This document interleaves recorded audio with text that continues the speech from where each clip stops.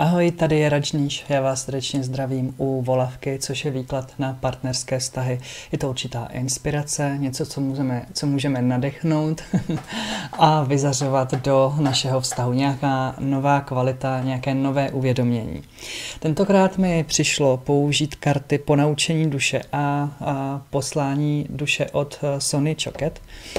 A mám tady připravenou knížečku, že mi chodilo, že si stejně jako minule u symbolu no, přečteme, mm, co ta karta znamená, co říká a pak vám povím, co mi k tomu chodí. Tak. Tak já si zamíchám karty, vy si můžete zatím usrknout svýho čaje. a uvidíme, co nám tu karty budou chtít uh, sdělit.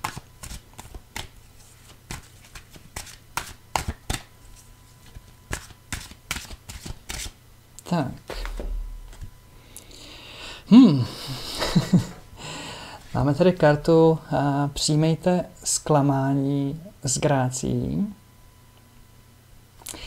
Tak, já si to tady najdu a přečteme si to. Jste frustrovaní z toho, že vše nejde tak, jak si přejete? Dáváte najevo své zklamání a sebelítost nezralým způsobem a rozčilujete se na ostatní, pokud nedělají věci tak, jak vy si přejete? Ano, není snadné si to přiznat, ale všichni v sobě máme cosi dětinského, co si občas libuje v nepříjemném chování. Pokud si myslíte, že to není vidět, lžete jen sami sobě. Nebuďte proto rozpačití či nejistí, jen buďte upřímní. Dokud si nepřiznáte, že část vaší osobnosti se nechová zrovna lichotivě, nebudete mít šanci na této stránce vaší osobnosti pracovat. To neznamená, že byste měli chodit s hlavou svěšenou a stydět se. Nejte, nejste v tomto směru žádnou výjimkou. Posláním vaší duše je vrhnout na toto dětinské chování jasné světlo, abyste si uvědomili, jak toto jednání pracuje proti vám i proti těm, které máte rádi. Utište to děcko v sobě a cvičte se v sebeovládání. Osvoboďte se od své závislosti na určitých výsledcích a snažte se uznat s vlídností, když má vesmír jiný, lepší plán. Tak tolik povídá knížka. No a mě k té kartě a chodí, nebo chodilo. Mm, samozřejmě to uvidíme mnohem lépe na druhých lidech, když se dětinsky zachovají vůči nám. A my tam máme takové to, by se mohli přece jenom změnit, nebo by se mohli a, přece jenom trošičku mm, podívat víc na ten svůj obraz. A máme tam i třeba takovou tu výtku. No a pak jsou situace, kdy my se sami chováme dětinsky a to si dokážeme ospravedlnit. to, to je úplně jednoduchý.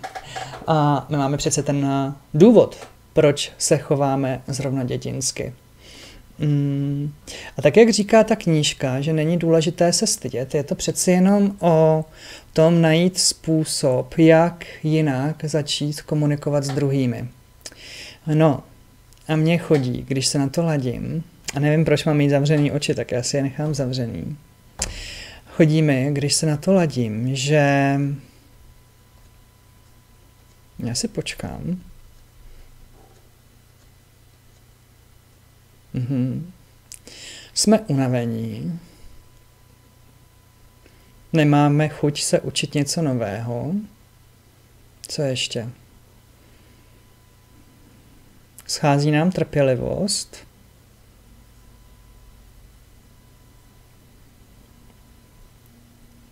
Neumíme opustit situaci.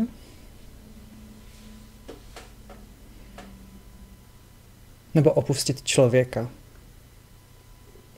Tak jak ta karta zmiňovala v té, nebo jak ta kniha uh, zmiňuje, um, že vesmír může mít lepší plán pro nás. A zase mám mít zavřený oči, tak já asi si je nechám zavřený. um, tak my si můžeme něco prosazovat. Můžeme si prosazovat nějaký určitý vztah. Přátelství, ku příkladu. Mm.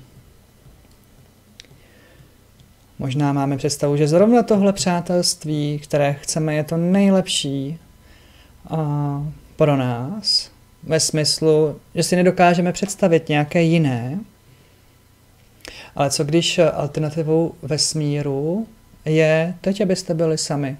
Právě proto, abyste si porovnali určité věci. Hmm. Přijmejte zklamání s grácí. No, ale jak to udělat? Když se nás něco dotkne, když uh, nás něco sklame, sklame nás nějaký výsledek našeho jednání, ku příkladu, chtěli jsme něco vyjednat, vyjednat a nové podmínky. Teď mám ruku položenou na velký knize zasvěcení, taky nevím proč, úplně mi to tam táhne tu ruku. Asi, asi potřebujeme nějaký vyšší vibrace. Potřebujeme vyšší vibrace. Hmm. Takže by to chtělo udělat něco, co by vás vytáhlo z těch nižších vibrací, které jsou vlastně spojené s tím zklamáním. Hmm. No jo, ale vyšší vibrace není to, že se jako urazím a pak na truc um, něco dělám. um, více spojit se svým cítěním, více hledat cesty k tomu druhému, pochopit, proč to ten druhý má tak a přijmout to, jak to ten druhý má. Hmm.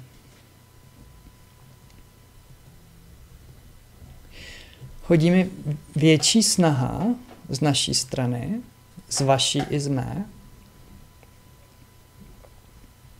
A to je na škodu.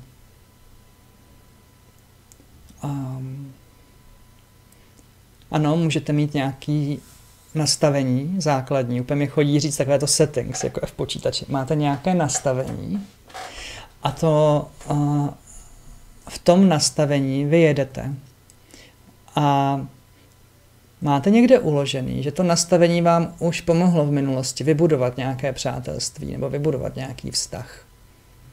A teď to nefunguje. Možná bude, nebo možná je na čase to nastavení předělat. Mm, upgradeovat. Něco nového se naučit. Nebo něco nového uvést v praxi. Zase mi tady chodí odpoutání. Opuštění. Spíš takhle, než odpoutání, opuštění. Opouštím celou tu situaci. Už se jí nezabývám. Nezabývám se tím člověkem, nezabývám se tou situací a k tomu potřebuju vyšší vibrace. Když mám ty vyšší vibrace, když si je opečovávám, tak to je vlastně ta grácia. Jakmile sklouznu do toho Bá, ani nevím, jak bych to popsal. že hrajícího já. Možná tak když eh, tam sklouznu, tak těžko to bude grácie. Hm. Chodí mi tady teď lilie jako symbol, čistota. Čistota. Čistota záměru. Naladit se na čistotu. A na to, že čistý záměr zahrnuje mé přání i přání toho druhého. Pokud to má být, tak to bude. Pokud ne, není to v souladu třeba s tím druhým, nebo to není v souladu s vyšším plánem. Hmm. Takže tak, přátelé. Máme se uvidíme příště. Pa, pa, pa.